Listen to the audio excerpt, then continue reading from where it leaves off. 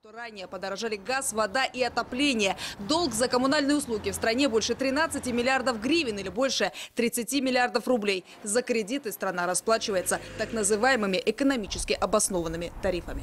Все идет к лучшему, но мы не, не чувствуем этого. А за коррупцию то и вообще нечего говорить.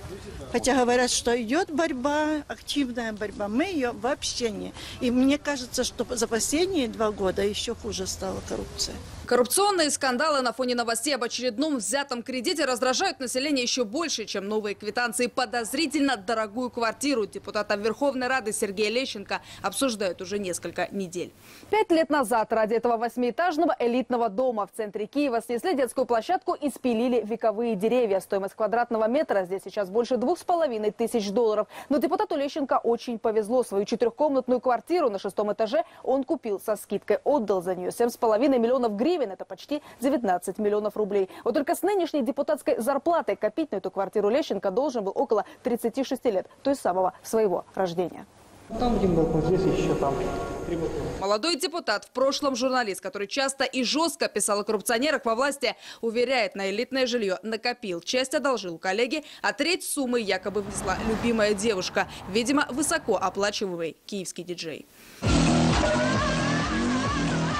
Откуда деньги, спрашивают сегодня не только у Лещенко. У стен Верховной Рады сплошь новинки и элитные авто. И все они, если верить декларациям депутатов, не принадлежат. Що це не моя машина, А чия? моего друга. У вас в декларації є Lexus? Є Лексуса моєї дружини. Да. А, Это не мой BMW, А чий? а матери. Чому ви не задекларували цей е, Мерседес? А це не мій мерседес. А чий? А Це не чий? мій мерседес. Паркуя рядом с Радой дорогие иномарки с трибуны, депутаты продолжают уверять, что честны с народом и почти так же бедны. У лидера Батьковщины Юлии Тимошенко нет ни машины, ни квартиры. Живет якобы на одну депутатскую зарплату при этом регулярно дефилирует в парламенте, например, с брендовой сумкой, на которую копила не меньше полугода.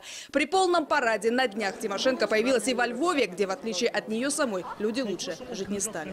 Я перший раз почула від львів'ян Я первый раз услышала от львовян, что они обвиняют демократические силы, которые сегодня у власти, и что если не способны управлять, идите вон и возвращайте ту власть, которая делала лучше для людей. И не издевайтесь.